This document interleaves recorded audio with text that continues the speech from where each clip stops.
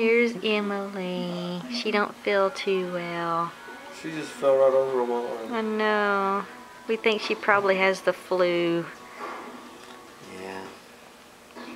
Poor thing.